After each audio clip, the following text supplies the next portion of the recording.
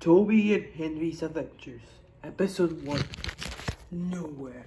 Hey everybody, it's me, Henry and Toby. And today we're doing our first episode. Yay, hooray, I don't know what this is. Ah, Howdy mates, I'm Toby the Tramman, and I have an American accent for some reason. And where are we?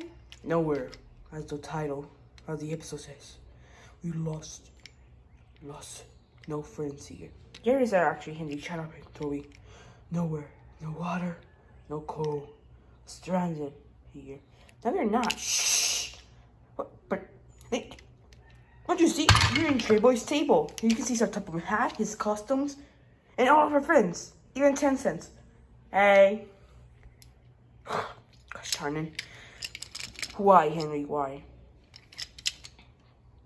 Because. Thanks for watching episode 1 of Nowhere, and we'll see you in episode 2. Bye!